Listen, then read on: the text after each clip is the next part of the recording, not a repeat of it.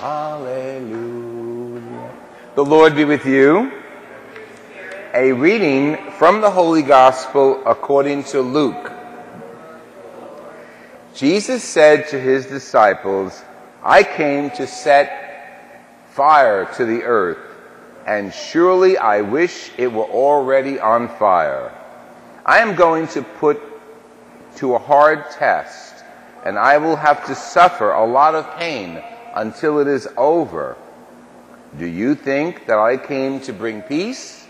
No, indeed. I came to make people choose sides.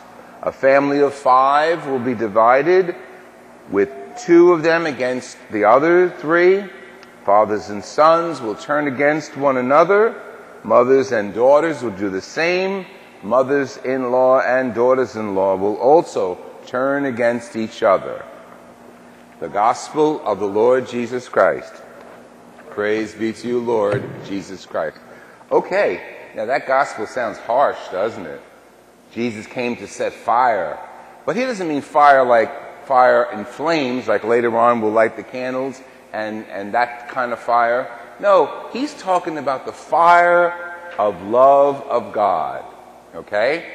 Now, every day we have a choice to make. We wake up in the morning, that's not a choice. We wake up in the morning, we could say our prayers, okay, that's a choice.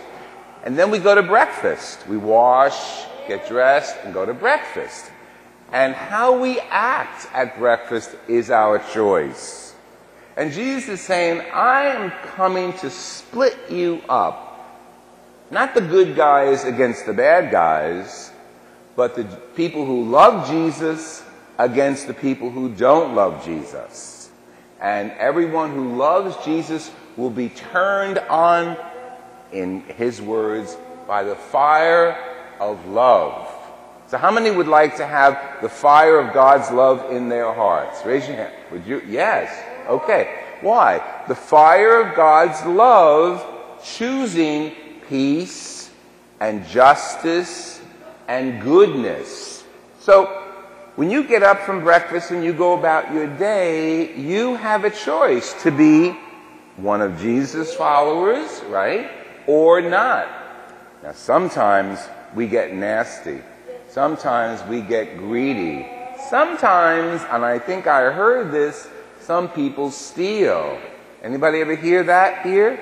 Anybody steal here? Nobody, nobody in this church. Okay. But, no, that's good. Because those who, who are bad, who do bad things, even though God loves us and we're all called to be good people, we do bad things sometimes. And if we do bad things, we're against, against Jesus. So how about we say together to Jesus, Jesus, teach me every day to be on your side.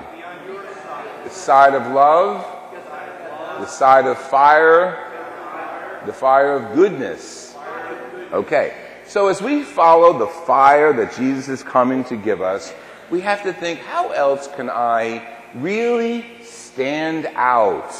One, what we're doing today. We're coming to pray. And when we come to pray, we are separating ourselves from people who choose not to pray. And we pray for them besides, right? Like who are the people you prayed for at the beginning of Mass? Who do we pray for? Pray for our families, for our friends, for people in the cottages, and all of our, right, calling all of our special intentions, we call them. And that's, a, yes. And we pray for the people in heaven, and we pray, you know, we have to pray for too. And you see, yes. Good. And we pray for the people in the cottages. That's really important. And we also need to pray for our families and friends that we don't know who are in different parts of the world who are suffering because they're Christians. Okay? Yes. Right. And we have to all be careful of the bears. That's true. Okay.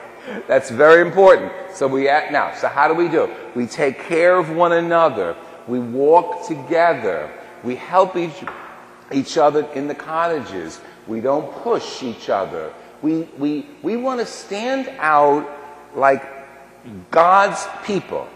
We want to stand out as Jesus' people. We want to stand out as people who love God so much that we're going to show others what it means to love God.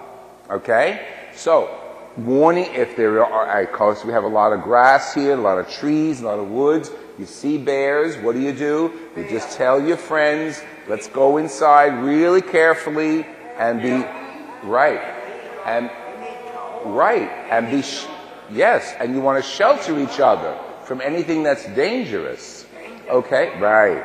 So how about we say together, Father in heaven, teach me every day to be on the side of Jesus, loving, forgiving, and praying.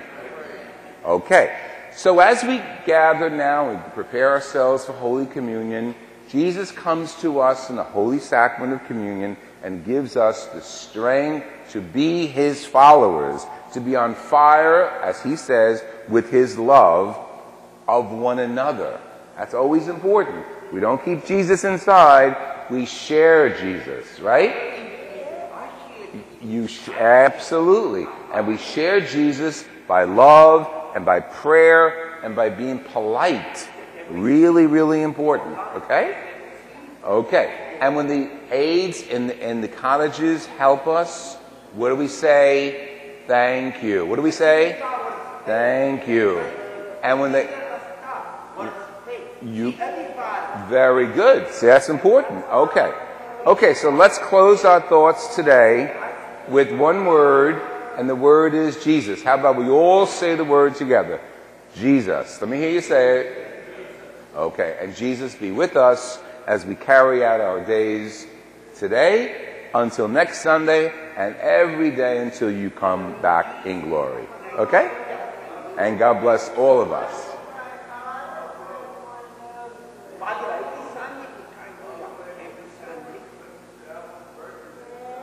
Okay. So we'll sing happy birthday for her next Sunday.